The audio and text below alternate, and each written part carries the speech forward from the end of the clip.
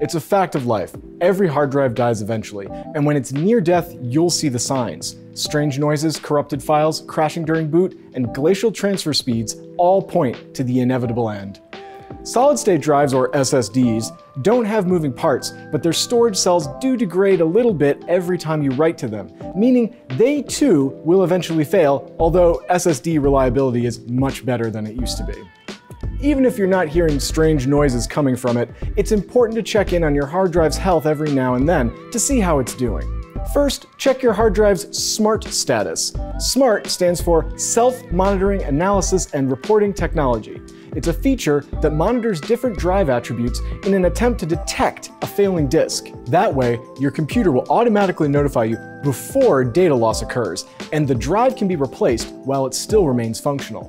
To check your drive's health on Windows, you can manually check the SMART status of your drives from the command prompt. Just type CMD into the search bar and open the application. In the pop-up box, run the following, and if everything worked out, there should be words on the screen right now, and you should type them in.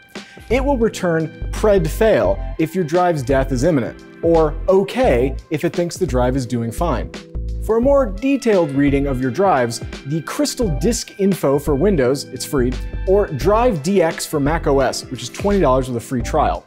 These will both offer a more detailed smart information than your computer provides on its own. However, drives with caution or pred fail readings won't necessarily fail tomorrow. They could chug along for a year or two, or be dead as a doornail in a week.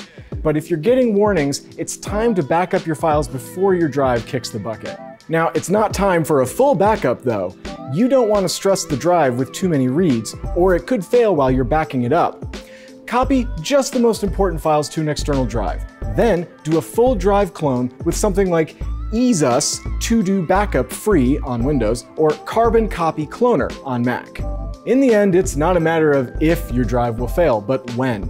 All hard drives fail eventually, and if you want to avoid losing your important files, you absolutely have to back up your computer regularly, including when the drive is healthy. I know, you've heard all this before, but are you actually doing it?